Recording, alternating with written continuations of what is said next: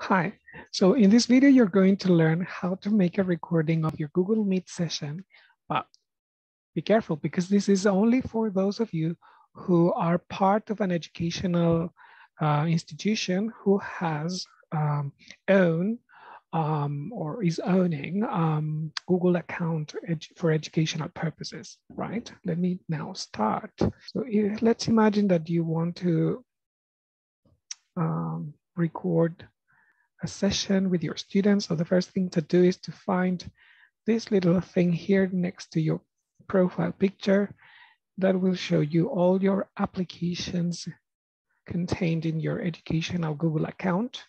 One of them being Meet.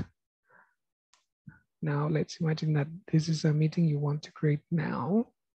Remember that you can start an instant meeting, which is what we're going to do now, but you can also schedule one for the future by using the Google Calendar thing.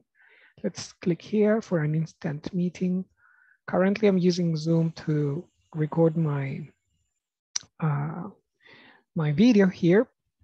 And uh, yeah, if you want to invite more people in an instant meeting, you would use this button here to add more people, right? Then you would write their names. I've got my students here, right? As you can see, our institution is at mucsh.cl,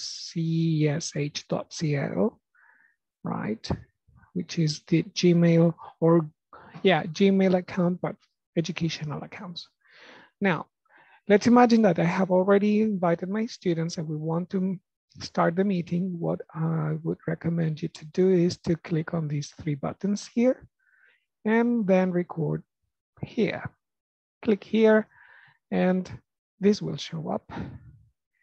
Start recording, click here, and then everything you start saying here is going to be recorded.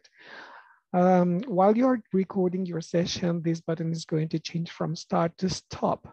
So if you want to stop your recording, then just click on stop and automatically an email will be sent to you saying that the video is being processed.